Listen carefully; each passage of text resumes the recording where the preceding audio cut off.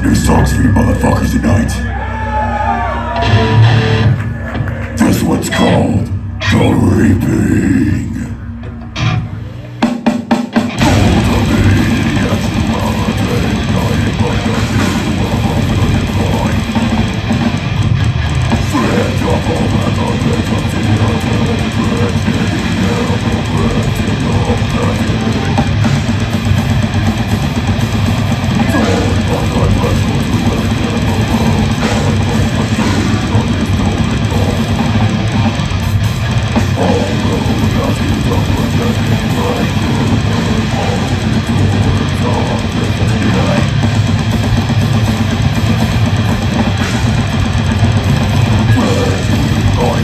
Right